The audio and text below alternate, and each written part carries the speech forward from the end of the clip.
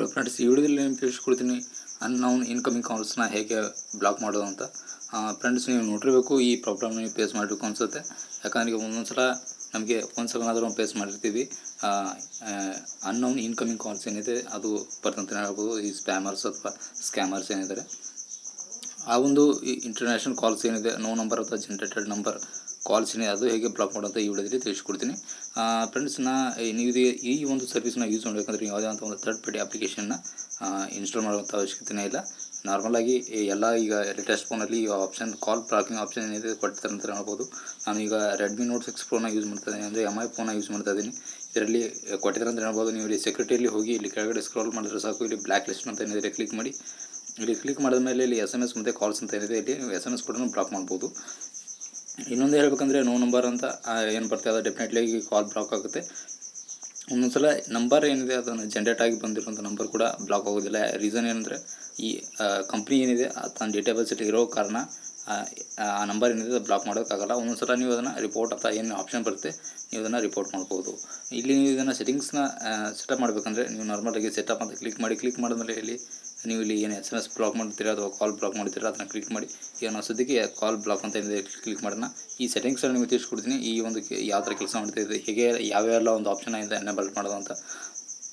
Friends ಇಲ್ಲಿ ನೋಡ್ಬೋದು, ಇಲ್ಲಿ ಕೆಳಗಿಂದ ಇಲ್ಲಿ block calls from hidden numbers ಅಂತ. ಅಂದರೆ ನಂಬರ್ ಏನು ಹೈಡ್ ಮಾಡಿ ಏನು ಕಾಲ್ ಮಾಡ್ತಾರೆ, ಆ ಪ್ರೈವೇಟ್ ನಂಬರ್ ಅಥವಾ ನೋ ನಂಬರ್ ಅಂತ ಏನು ಬರುತ್ತೆ, ಈ ಆಪ್ಷನ್ ಏನಿದೆ ಅದು ಅದು ಯೂಸ್ ಆಗುತ್ತೆ. ಇನ್ನು ಮೇಲೆ ಏನಿದೆ, ಎರಡು ಎರಡು ನಂಬರ್ ಏನಿದೆ ಬ್ಲಾಕ್ ಕಾಲ್ಸ್ ಫ್ರಮ್ ಕಾಂಟ್ಯಾಕ್ಟಸ್ ಅಂದರೆ ಒಂದು ವೇಳೆ ನಾವು ಕಾಂಟ್ಯಾಕ್ಟರ್ಸಲ್ಲಿ ಸೇವ್ ಮಾಡಿರೋ ನಂಬರ್ ಕೂಡ ಬ್ಲಾಕ್ ಮಾಡೋಂಥ ಒಂದು ಫೀಚರ್ ಕೊಟ್ಟಿದೆ ಡೆಫಿನೆಟ್ಲಿ ಈ ಒಂದು ಫೀಚರ್ ಏನಿದೆ ಯಾರು ಕೂಡ ಯೂಸ್ ಮಾಡೋದಿಲ್ಲ ಇನ್ನು ಮೂರನೇದು, ಇಲ್ಲಿ ಬ್ಲಾಕ್ ಫಾರ್ವರ್ಡ್ ಕಾಲ್ಸ್ ಅಂದರೆ ಒಂದು ವೇಳೆ ಕಾಲ್ಸ್ ಏನಾದರೂ ಫಾರ್ವರ್ಡ್ ಮಾಡಿ ಕಾಲ್ ಬರ್ತಾಯಿದೆ ಅಂದ್ಕೊಳ್ಳಿ ಅದನ್ನು ಕೂಡ ನೀವು ಇಲ್ಲಿ ಬ್ಲಾಕ್ ಮಾಡ್ಬೋದು.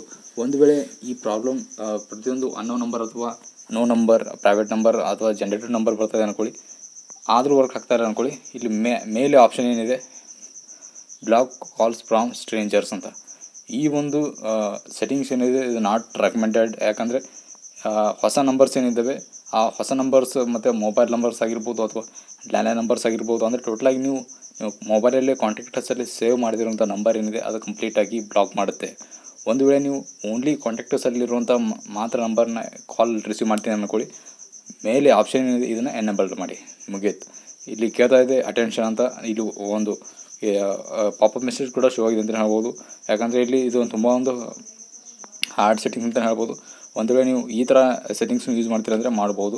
ಯಾಕಂದರೆ ಡೆಫ್ ಡೆಫಿನೆಟ್ಲಿ ಆಗಿ ಇದು ಹೊಸ ನಂಬರ್ಸ್ ಆಗಿರ್ಬೋದು ಮೊಬೈಲ್ ನಂಬರ್ಸ್ ಆಗಿರ್ಬೋದು, ಅಥವಾ ಲ್ಯಾಂಡ್ಲೈನ್ ನಂಬರ್ಸ್ ಆಗಿರ್ಬೋದು ಆ ಥರ ಆ ಥರ ಒಂದು ನಂಬರ್ಸ್ ಕೂಡ ಇದರಲ್ಲಿ ಎಫೆಕ್ಟ್ ಆಗುತ್ತೆ ಅಂತ ಹೇಳ್ಬೋದು. ಒಂದು ವೇಳೆ ನೀವು ಓನ್ಲಿ ಕಾಂಟ್ಯಾಕ್ಟರ್ಸಲ್ಲಿ ಇರೋ ನಂಬರ್ ಮಾತ್ರ ನಾವು ಕಾಲ್ ರಿಸೀವ್ ಮಾಡ್ತೀವಿ ಅಂದರೆ ಮೇಲೆ ಏನಿದು ಕಾಣಿಸ್ತಾ ಇದೆ ಬ್ಲಾಕ್ ಕಾಲ್ಸ್ ಫ್ರಮ್ ಸ್ಟ್ರೇಂಜರ್ಸ್ ಅಂತ ಈ ಒಂದು ಸೆಟ್ಟಿಂಗ್ಸ್ನ ನೀವು ಡೆಫಿನೆಟ್ಲಿ ಯೂಸ್ ಮಾಡಬೇಕಾಗುತ್ತೆ. ಯಾಕಂದರೆ ಇದೊಂದು ನಾಟ್ ರೆಕಮೆಂಡೆಡ್ ಸೆಟಪ್ ಅಂತಲೇ ಹೇಳ್ಬೋದು. ಯಾಕಂದರೆ ನೀವು ಒಂದು ಓನ್ಲಿ ಕಾಂಟ್ಯಾಕ್ಟರ್ಸ್ ಇರೋ ಮಾ ಕಾಲ್ ಕಾಲ್ನ ರಿಸೀವ್ ಮಾಡ್ತೀನಿ ಅಂದರೆ ಈ ಒಂದು ಸೆಟ್ಟಿಂಗ್ಸ್ನ ಯೂಸ್ ಮಾಡ್ಬೋದು. ಫ್ರೆಂಡ್ಸ್ ಈ ವಿಡಿಯೋ ನಿಮಗೆ ಏನಿಸ್ತದೆ ದಯವಿಟ್ಟು ಕಾಮೆಂಟ್ ತಿಳಿಸಿ. ಹೊಸದಾಗಿ ನೋಡ್ತಾರೆ ಚಾನಲ್ಗೆ ಸಬ್ಸ್ಕ್ರೈಬ್ ಮಾಡ್ತಾರೆ, ಮರಿಬೇಡಿ. ನಾವು ಮತ್ತೆ ಮೀಟ್ ಮಾಡ್ತೀನಿ ಈ ಥರ ಇಂಟ್ರೆಸ್ಟಿಂಗ್ ವಿಡಿಯೋ ಸರಿ ಥ್ಯಾಂಕ್ಸ್ ಫಾರ್ ವಾಚಿಂಗ್ ಆಯ್ ಟಾಟಾ ಬಾಯ್ ಬಾಯ್